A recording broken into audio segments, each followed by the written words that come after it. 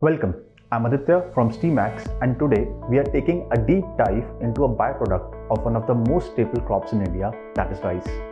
When we think of rice production, we often envision vast, lush paddy fields or the aromatic grains that form the base of countless dishes across our diverse nation.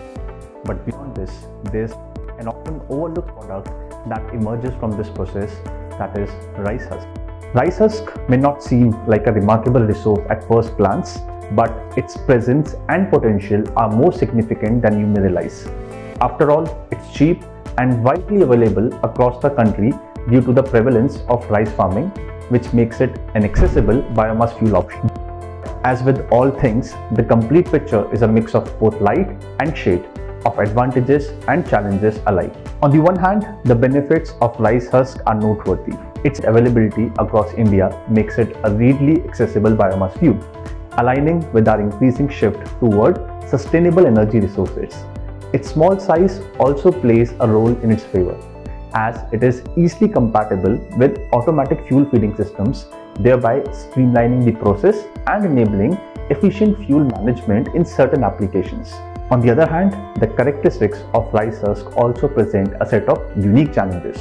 To start, it has a relatively high ash content up to 18%. This high ash content results in a low gross calorific value up to only 3200 kilocalories per kilogram which can limit its energy potential. Further adding to its complex nature is its low bulk density of around 150 to 200 kg per cubic meter. Because of this, rice husk takes up more space than other types of biomass, necessitating larger storage space and complicating transportation logistics. These factors can significantly increase operational cost, presenting a challenge to its widespread use. The high ash content of rice husk also has environmental implication. When burned, it generates more particulate emission than some other forms of biomass.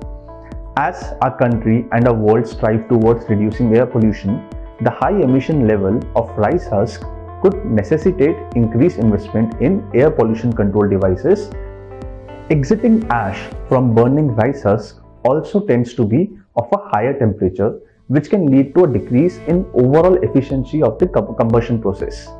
This coupled with the high silica content in the ash that can cause abrasion over time may pose additional challenges in the long run. So as we can see, the story of rice husk as a fuel is not straightforward. It's a narrative of balance, of weighing the pros and cons.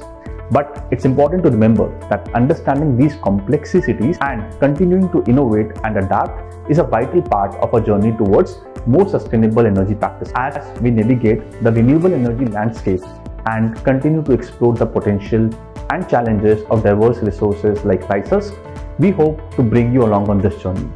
So stay tuned for more in-depth discussion analysis and insight as we delve into the world of different biomass fuels and beyond.